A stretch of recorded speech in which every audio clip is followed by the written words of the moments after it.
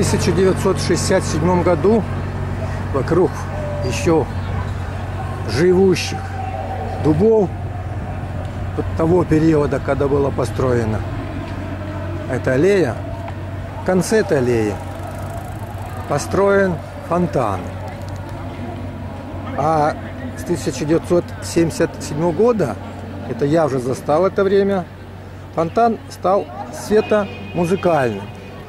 Повторюсь, сейчас переход от зимы к весне к лету, все выключено, но фонтан очень красивый. Я недавно вел репортаж из Израиля, я там показывал, сравнивал. Конечно, те фонтаны, которые я видел в Израиле, великолепны, но они не дотягивают и близко до этого фонтана. Конечно, сейчас это ничем не говорит, но будем живы, обязательно снимем все эти достопримечательности в тот период, когда будет лето, когда будет красиво. Сейчас специально снимаю, потому что когда распускаются деревья, в парке практически невозможно ничего снять. Еще один интересный памятник располагается в восточной части парка Шевченко или, как он раньше назывался, сад Шевченко. Памятник футбольному мячу.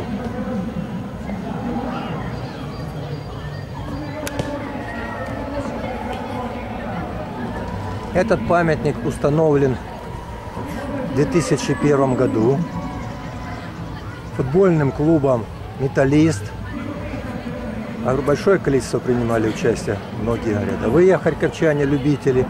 Вот здесь раньше на скамеечках собиралось много-много болельщиков. И не только металлиста, шахтера, Динамо Москвы, Торпеда, Спартака и других. Динамо Тбилиси, Динамо Минска, Молдова, Невчи Баку. Такие дискуссии жаркие были. С развалом страны развалилась это называлось в народе Брехаловка. А вот мяч вот здесь поставлен. На открытии этого памятника футбольному мячу приезжал лично, с моей точки зрения, выдающийся, даже не с моей точки зрения, по всем параметрам, футболист советского и украинского футбола, это Блохин. Олег Блохин. Никто больше количества игр за сборную не сыграл СССР. Никто больше в чемпионате СССР не забил голов даже наполовину того, что он забил. Никто больше не забил вообще количество голов в чемпионате сборной, в олимпийской сборной Советского Союза. В Харькове любят футбол, но, к сожалению, политика и здесь работает. И все это, все дороги ведут, конечно, в Киев. Памятник представляет собой постамент из черного гранита.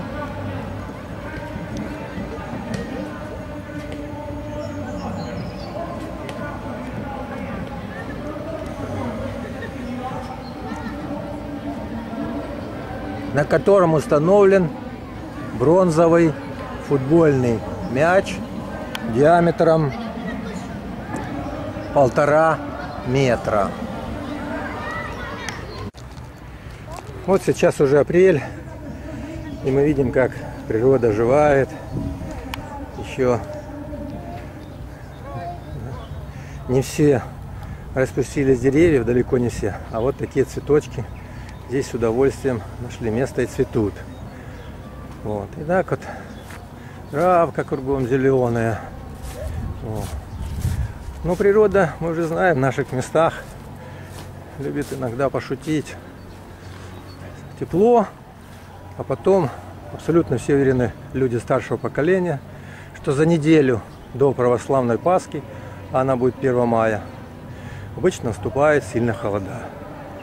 Вот эти деревья, вот эти цветочки, которые Сейчас все уже спустились. Вот, цветут. Красиво. Вот, они пострадают, но зато проживут раннюю красивую жизнь. Вот так и в жизни. Кто-то рождается ярко живет и быстро умирает. Кто-то рождается ярко живет и долго живет. Кто-то рождается спокойно, проводит всю жизнь и тоже или долго живет, или недолго. У каждого свое.